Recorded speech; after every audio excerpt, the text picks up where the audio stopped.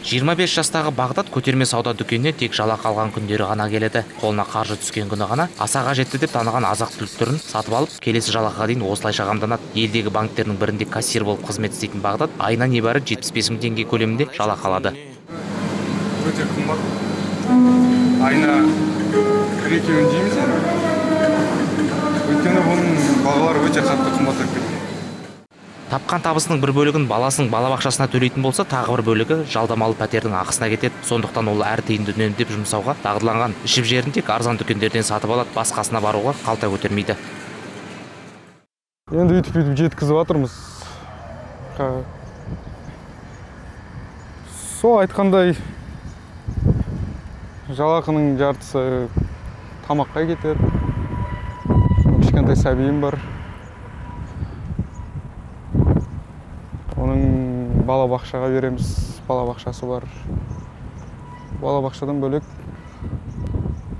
ада ішінде неше түрлі театрлары бар. Оған да беруге тырысамыз енді. Несием бар? Олсыз енді болмайды. Жетпегендіктен аласың. Оны да төлеуге тырысасың бірақ қазір жағдай өте қиын болғаннан кейін. Оны төлемей де жүрміз қазір.